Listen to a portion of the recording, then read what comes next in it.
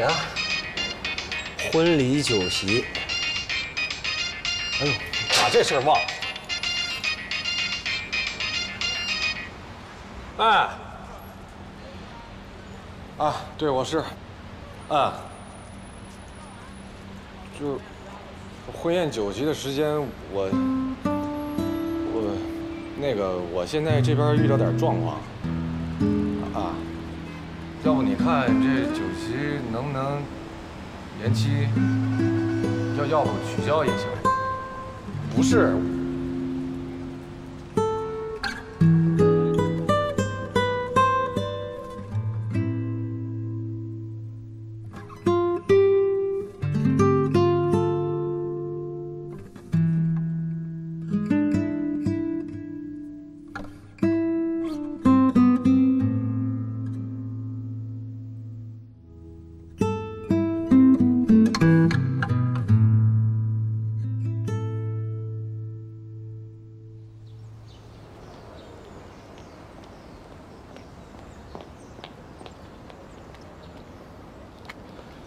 我借口说倒垃圾才出来的，不能待太长时间。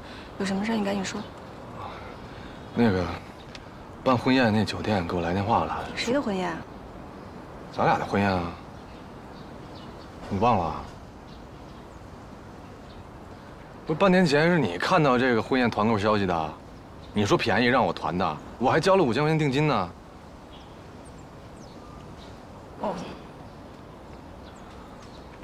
这团购下个月到期了，再不定日子就作废了，五千块钱都不退。那怎么办啊？要不，咱俩把这婚宴给办了吧？办了？怎么办？我妈现在根本不让我提你，她一听你的名字血压就高，就因为你姓夏，我们家现在连夏天都不让说，得叫暑期。哎，要不你把户口本掏出来？这怎么行？夏立斌。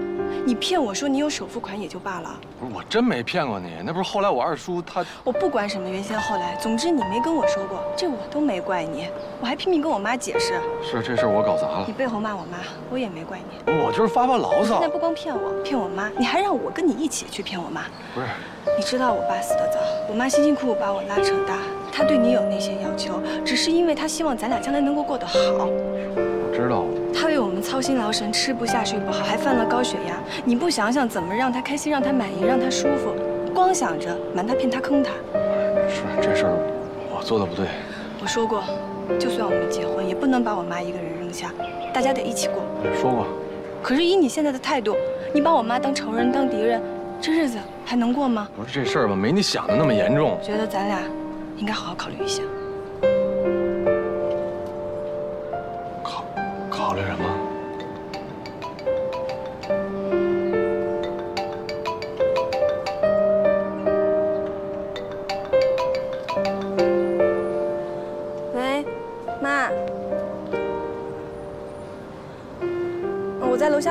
同学，马上就上来。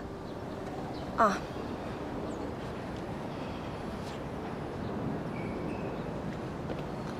我得回去了。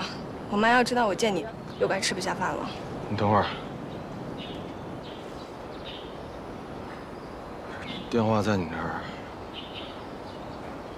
那我给你打电话，你为什么不接呢？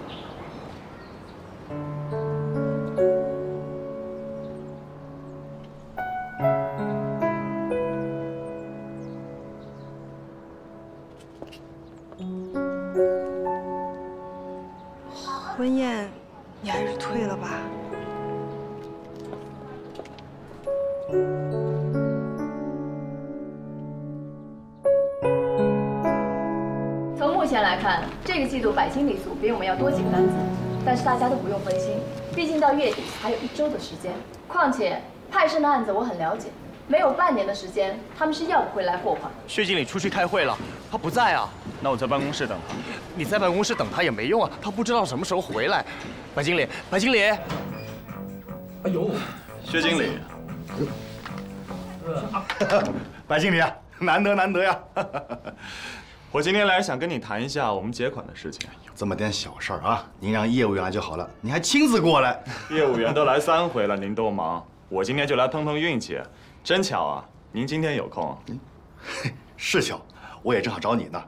你们那个款啊，总公司已经批了，就是这个手续上面啊，就就就就就，我今天来就是想告诉薛经理，我们总公司已经下达新的命令了，凡是超过三个月还没有结款的客户，我们下面就不再继续供货了。哎呀白经理啊，你们这个酒呢，哎，确实不错啊，这个客人也说非常好。可是也有客人问我们说，什么时候有新酒？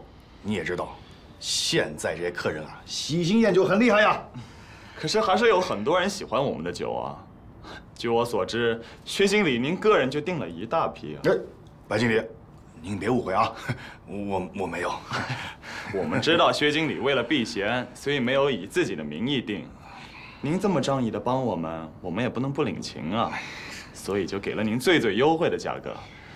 可是总公司不知道这样的情况，还以为我们中间拿了回扣呢。所以啊，您的货已经到了库房了，可是出货的方面却遇到了一些问题。哎呀，呃，这样子吧，我尽我所能啊，嗯，月底前给你们打款。月底？啊，十天，好不好？就十天，哎，真的不能再快了。这样子，我现在去财务那边把文件签给你啊。等我一下，哎，你让他们把文件送上来，我们当面签吧。你还不相信我是不是啊？很快，等我一下。哎，薛经理，放心啊。经理不在，你真的不能进去。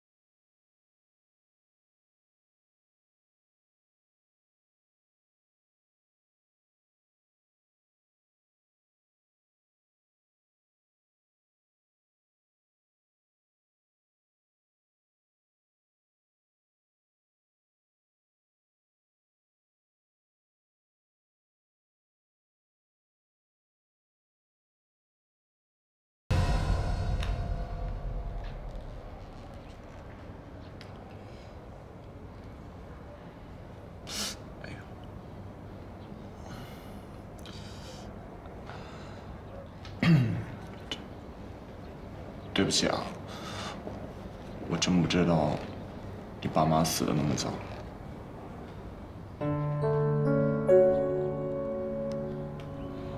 我我也认错人了，不好意思。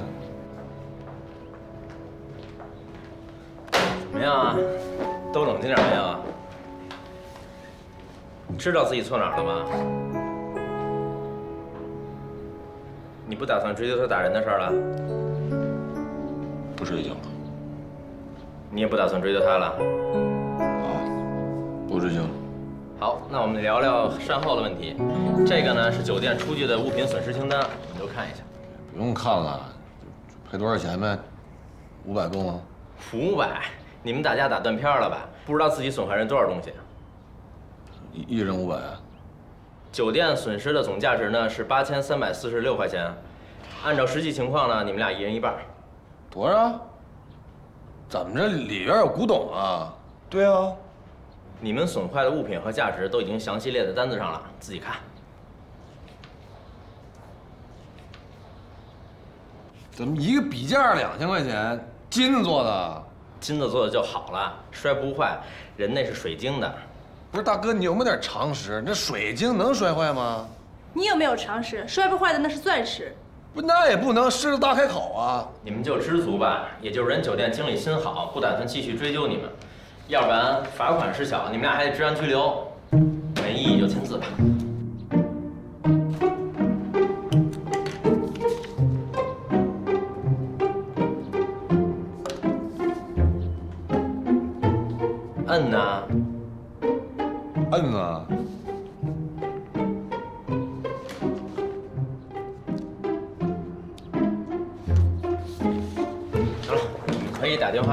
家属和单位过来交钱领人了，不是我，我这电话坏了，打不了。自己想办法。啊，算了吧。没事儿，你打吧。你看看有没有电话号码你能想起来的，你就打呗。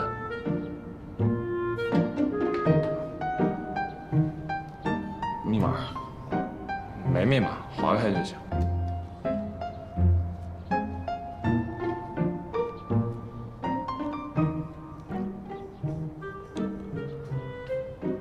儿呢？赶紧的，赶紧的，来派出所接我，犯事了。快，我你师傅。你你谁呀、啊？啊，那那我挂挂错了啊。八六不是六八。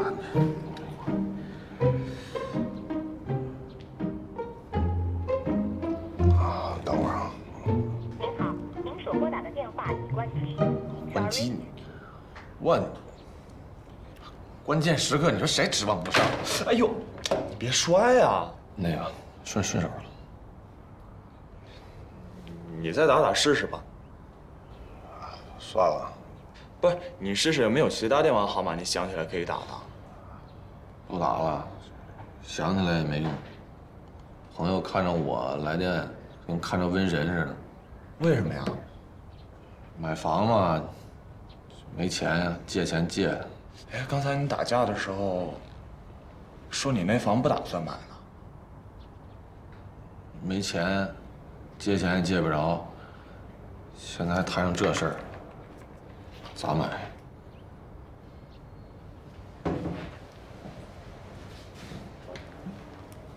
真不打算买了？哎，那我问你啊，那购房意向书是不是你已经签了？签了，定金也交了？三万块钱。那我告诉你啊，你现在这样的情况，就算是违约，啊，你那笔定金会和酒店的定金一样，都收不回来了。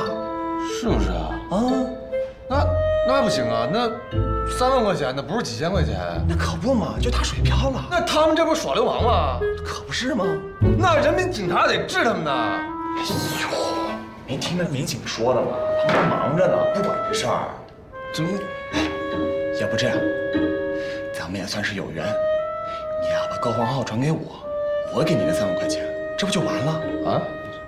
你想啊，我帮你这个忙，你也能拿到钱了，我也能买上房了，这不双赢吗？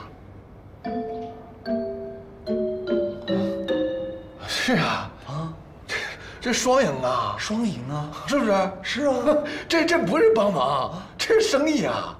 啊，三万不行，四万四万，啊？你怎么还要赚钱呢？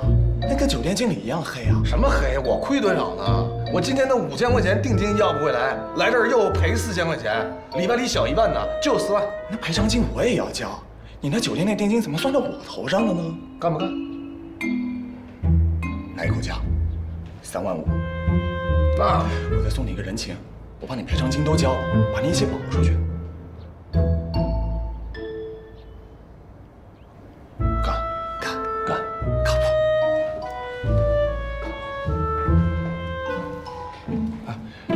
赶紧给你老婆打电话，把咱俩保上去啊！没事，不急。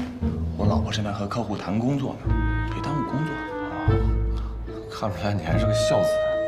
那当然了，男人嘛，就应该照顾老婆，我说的是孝子，可不嘛，咱咱刚才说的是三万五啊，是三万五吧？三万，三万五吧？三万五啊，三万。三万五哈。哎，那个跟你一块做节目的那个，就那女嘉宾叫什么名儿呢？你也看了？啊，何止看了，就为这个，我还跟我老婆吵了一架，你还敢跟你老婆吵架呢？可不嘛。哎笑死！可。算是解开了。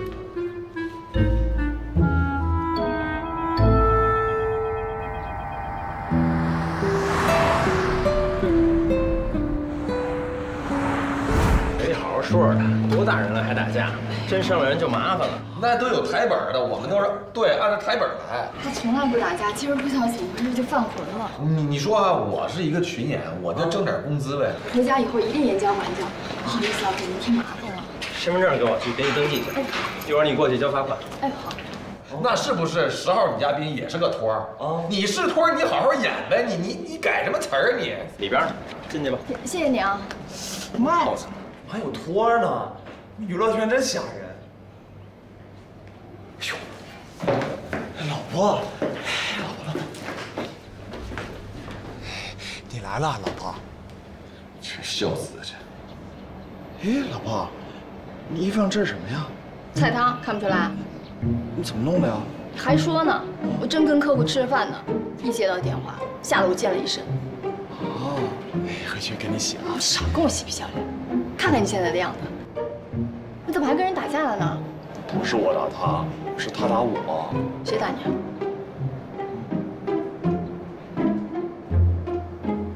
他叫夏立兵，你看这耳朵。哎呦天哪！他为什么要打你？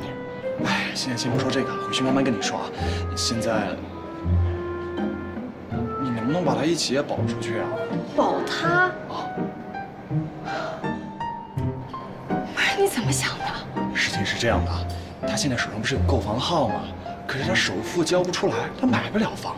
我就想把他购房号拿过来，给他三万，这样我们就能买上房了。我不同意跟这样的人做生意。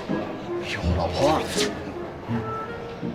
第一，我们该不该买房？该买。第二，三万五买这个购房号值不值？一般。哎，老婆。第三，因为个人偏见导致这交易失败，是不是很意气用事啊？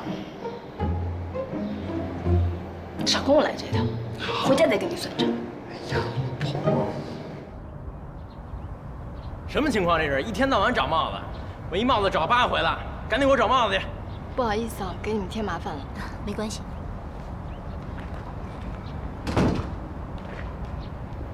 走吧。那以后要修车找我。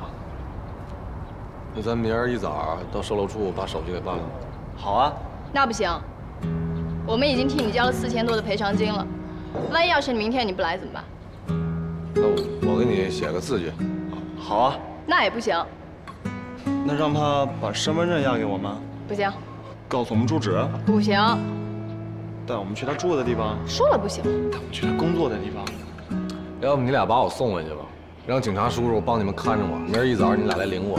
哎，别别别别别呀！婆。要不然这样吧，出了这个门有个提款机，你先把钱还给我们，其他的明天到了售楼处再说。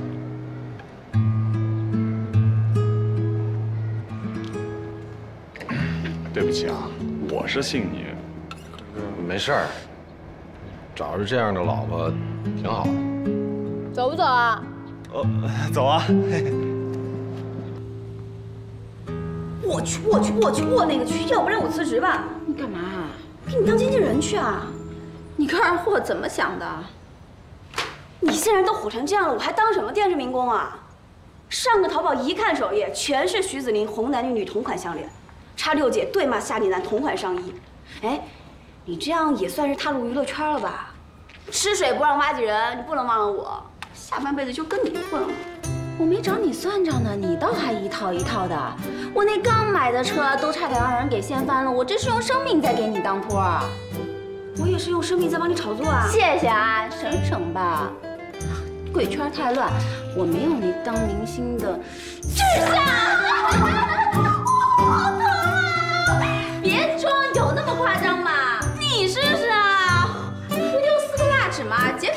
肯定不叫。叉六姐，你好狠心啊！亏得我对你一片痴心，是真爱。要不一起租个房子吧？真爱。真的假的？你不跟家里住了？我那信息啊都被抛到网上去了。今天有人拿千斤顶卸我那车轱辘，明天说不定就有人把我妈那房门给拆了。我可不能让我妈跟着担惊受怕。徐大夫能同意吗？就是不知道该怎么跟他讲。其实我早就想搬出来了。哎呀呀呀呀呀呀！没想到这是一物降一物啊！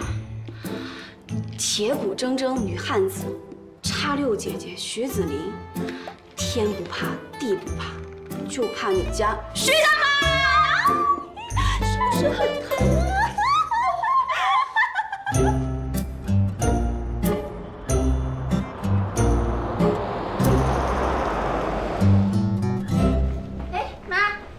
么早回来，不用加班呀？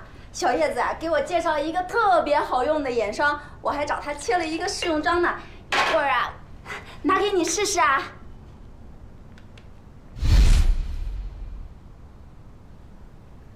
这怎么回事啊？我在等你给我解释。妈，那些杂志上都是瞎写的，他们都是断章取义。其实我那节目上说的那些观点，也是人家强迫你的。那个相亲节目不是我自愿参加的，你还好意思给我提那个相亲节目？哎，那是小叶子抓壮丁，我临时去救。呃，妈，你说的这个采访啊？你的专栏就写这些呀？啊？女人要知道怎么给自己挑优质老公，好男人要做车中叉六，珍惜生命，远离渣男。这都什么跟什么呀？这怎么了？你说怎么了？说话做事一点分寸都没有。我，我那不是没有分寸，我那是豁出去了。要说就要把话说透，牺牲我一个，给天下女人提个醒，不能被那些不负责任的男人所欺骗。自己还是个姑娘家。连个男朋友都没有，就大言不惭的去教别人怎么挑老公，胆够大的哈！还跑到电视上去说，你那些标准是从哪蹦出来的呀？没吃过猪肉还没见过猪跑吗？非要谈几次恋爱，遇上个把渣男才能吸取教训吗？徐老师，你睁眼看看，生活中这样的例子还少吗？不说别的，你就是一个典型的例子。我怎么了？你不就是被我爸当初的甜言蜜语冲昏了头，还没有发现他是一个对感情、家庭极度不负责任的自私男，头一热就嫁给他了。你这失败的婚姻还不够我吸取教训吗？原来你的那些理论标准都是来自于我，来自我失败的婚姻，是吗？是的，别人可以反对我，但你不能，因为你有切身的体会。当然了，你很勇敢，当发现他真面目之后，你就下定决心离开他，开始了你的新生活。但是有更多的女性嫁错了就认命了，每天还在洗衣做饭带孩子，给男人当牛做马，一辈子忍气吞声。低质量的婚姻，也就是渣男给女性带来了些什么？你看你。离婚之后极度缺乏安全感，这十几年来你都不敢再接受新的感情，你把所有的时间跟生命都奉献给了工作，一点生活情趣都没有。你看看我们家，被你搞得气氛极度压抑，我每次回来大气都不敢喘一下。我以后不能成为你这样的女人，我也不能让其他的女性有你这样的生活经历。够了！既然觉得在这个家里气氛压抑，就搬出去好了。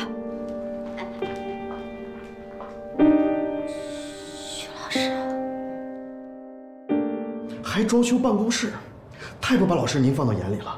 再这么下去，都比你的办公室豪华了。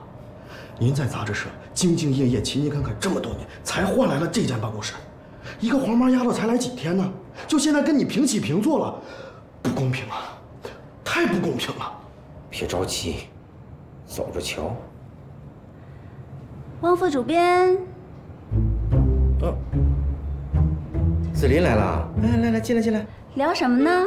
没有，呃，和小汪聊我们最近工作繁忙的事儿。啊，我都听到了。既然二位这么关心我的办公室装修，不如我邀请你们过去参观一下。不去，有味儿。我就添置了几个小摆件。呃，紫琳呐，最近专栏准备的怎么样了？哎，汪。子林是不是好长时间没申报选题了？好长时间。子林这样不好。啊，年轻人不要取得了一点点成绩就骄傲起来，尤其做咱们纸媒的，能够踏踏实实的为老百姓多写几个字儿才是王道。即便你是一个娱乐八卦周刊的小狗仔，也要勤勤恳恳、兢兢业业地为人民群众趴窗户根儿。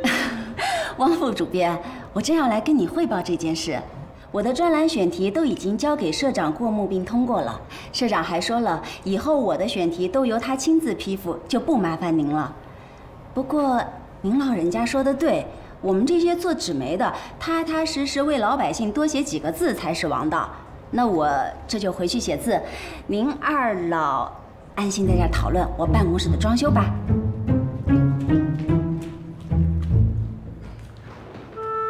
这就是欺负人欺负到家了，一骂骂一串儿。二老，是骂咱俩二啊，还是骂咱俩老啊？我跟你说，老师，徐子林必须收拾他，下手段。行了，你就别在这儿气我了。二老，那是尊称。去吧，必须收拾他，必须收拾。什么？为什么办不了？为什么办不了？为什么办不了？为什么办不了？因为上面有新的规定，签约合同意向的人名必须出现在购房合同和房本里。现在房价涨得厉害，所以我们这么做也是为了杜绝倒卖房号、炒房、炒楼花。那经理，如果我们买完了之后直接过户不行吗？当然可以，不过二手房没满五年就要交易的话，要交很多的税，而且要等到房本下来才能交易，至少要半年。半年以上。一定有办法。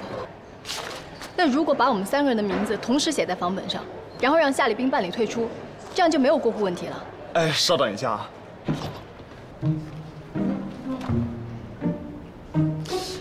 怎么了？你说把三个人的名字都写到一个房本上面？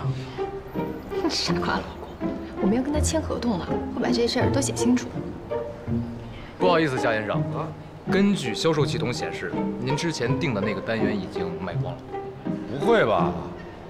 那那其其他单元呢？像这种一居室的早就卖光了，别说一居啊，两居都卖光了，现在只剩三居跟四居，不过价钱要多一倍以上。哎，你们这是违法，知道吗？合同签了，定金交了，哦，然后那意向书我说买这单元，你把房子说卖就卖。这个意向书上写的很明白，如果您没有在规定的时间内来签订购房合同的话，我们有权将选定的户型卖给其他客户。哪儿写了？你看那，写的很明白，时限七十二小时，开盘三天，您都没来签字，所以那你们也不通知我一声？不是夏先生，昨天是最后期限，我一直给您打电话，从中午到晚上，但是您手机关机了。开什么玩笑？我手。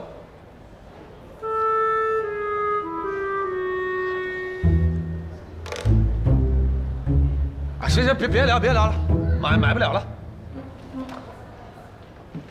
为什么买不了了？嗯，单元卖没了，现在就剩下三居和四居的。三居四居，我们还真买不了。哎，那你定金怎么办啊？我我定金怎么办？定金不重要，咋不重要呢？最主要是由于你们的情况比较特殊，所以呢，我在我的权限范围内给你们一些照顾。什么照顾啊？请看，这是我们一套大两居的房子，精装修，样板间，拎包入住，而且是在顶楼。本来呢，这套房子不在我们的销售计划里，这是我们老板给他自己的小姨子订的。刚才他给我打电话说不要了。如果你们愿意考虑的话，好漂亮啊，连装修都省了。可是咱们买不起吧？对了，这套房子是在顶楼，我们还会附赠一个小阁楼。阁楼？老公，我们可以改装成书房哎，或者茶室，弄成榻榻米的样子，铺上个垫子，和音响，在上面可以听音乐、看书、喝茶什么的。十一点之前，我还有权限树立它；十一点之后，这套房子就会被总部收回。各位，还有不到一刻钟的时间做决定，我还有客户，不好意思，失陪。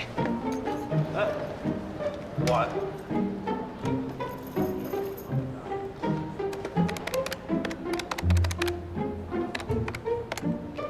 算什么呢？这房子首付我们肯定是付不起的呀。老公，你说的对，这套房子我们两人买肯定是承担不起，而且还会有一堆的问题。但是，如果我们三个人一起买，不但买得起，所有的问题都可以解决。我们仨，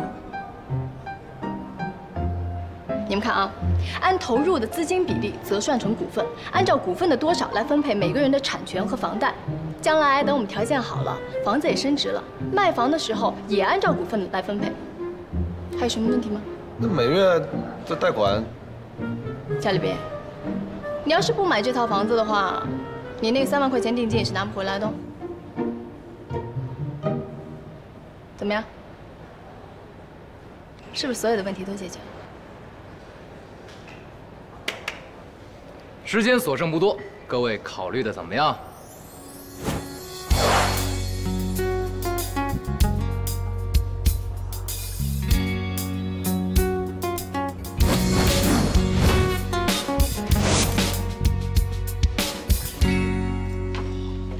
哎呦我哇！不，这也太大了吧！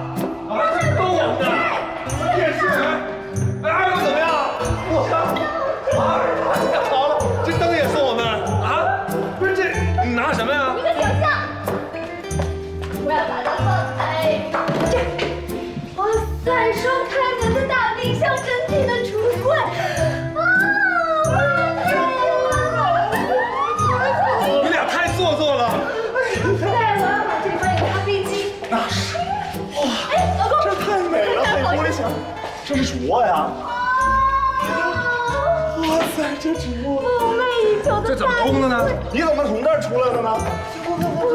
老婆，这玩意儿以后得补上啊！老公，我要把这个橱柜给你全部都填满。好，钱填满了，化妆品也填满了。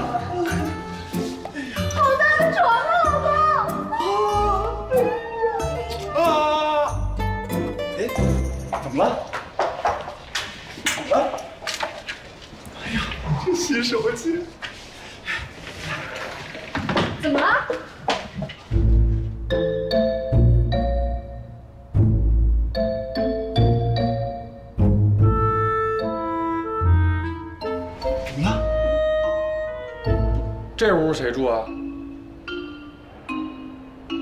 你啊？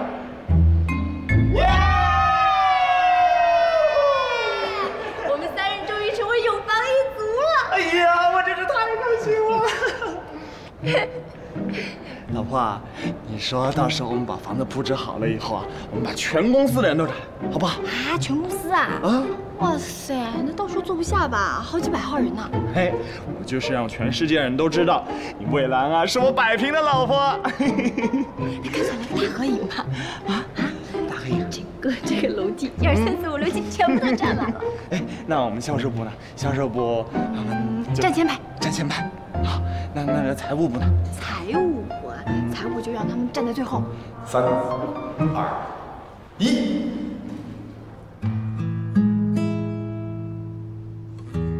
知道我现在还买不起房，但我一定会努力的。到时候我攒一首付，咱俩在这买一小户型。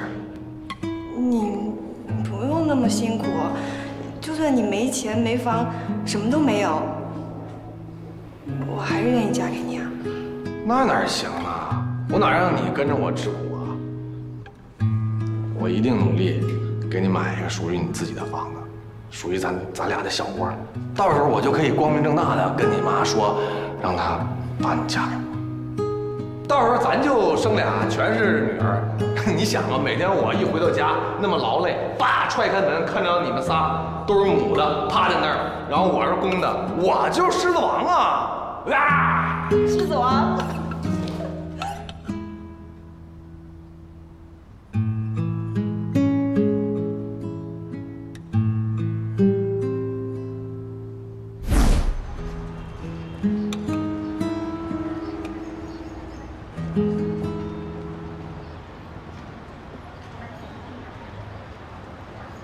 安晴，哟，这花真漂亮，夏立斌，你小浪漫玩的可以啊、一般一般吧。啊，不错不错，我收下了。哎，你别闹，你那小美呢？忙着呢。没忙，早化好妆去等你了。等我啊？等等我干嘛？你俩干嘛？我哪知道？你别闹，不是，他还不好意思啊，快点去吧，他都去了好一会儿了。你再磨叽，送花都来不及了。不是他哪儿呢？就隔壁雅思格餐厅。哦。这大周末的还要加班，真是辛苦了。也不算周末吧。再说了，平时我们周末也上班的。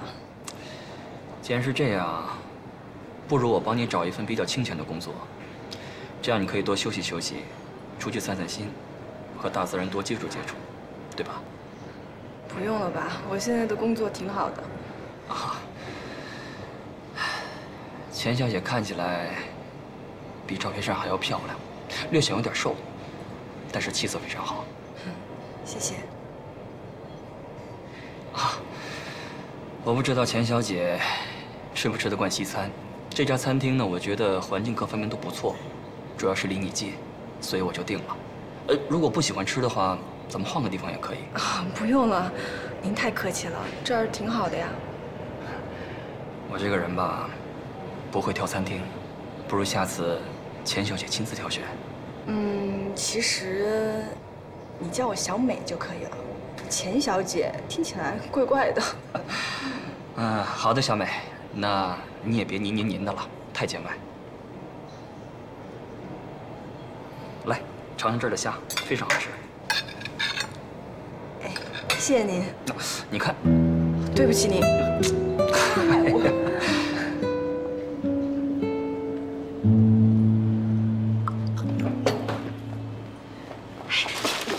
你你来干什么？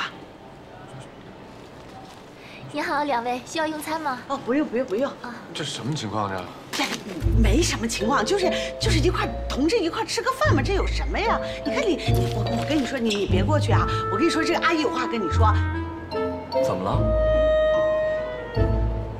那唐唐先生，您您能先走吗？我我跟你说，你你别过去啊！好的，小美，我先撤。哎，那花儿，你你你别去，你听阿姨跟你说，阿姨有话。你也来了，阿姨。啊，哎呀，那个刚刚巧路过，一一下给碰上了，这么巧。那个你你吃好了吗？呃，我吃好了，我先走了，阿姨。哎，堂哥，堂哥。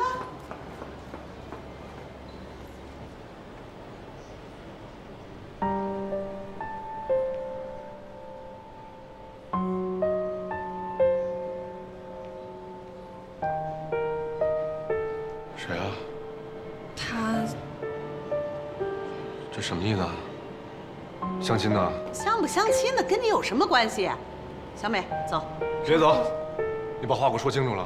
骗婚不成还要明抢啊？不是你不是跟我说你不接受你妈给你介绍的相亲对象吗？你心里怎么想的？挑拨我们的母女关系是吧？你以为你是谁呀？我是她男朋友。你少来，早就分手了。你话不能这么说。那怎么说呀？我早就跟你说的清清楚楚、明明白白，你跟小美早就一刀两断，老死不相往来。许你上电视上相亲，就不许我们家小美寻找幸福的未来？你这人心眼也太坏了！我现在算看出来了，你就是一名副其实、一无所有的夏利男。干嘛呀？别说了，我偏说。车子车子你卖了，房子房子你没有，你拿什么娶小美啊？你们两个睡大街上啊？修个破车当个群演，就口口声声说要给小美幸福，拿啥给？那那种戴个破眼镜框的就能给小美幸福了？戴个眼镜框怎么了？我觉得挺好啊。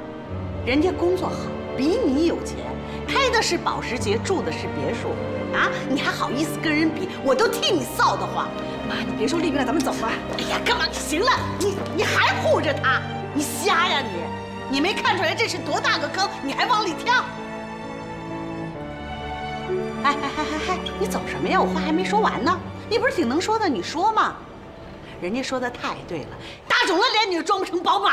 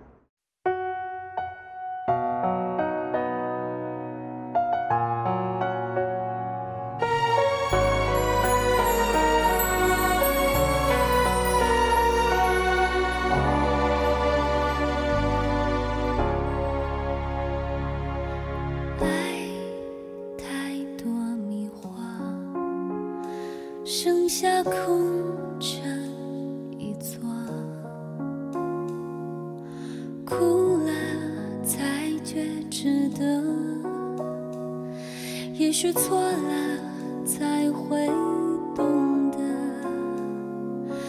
爱不是选择。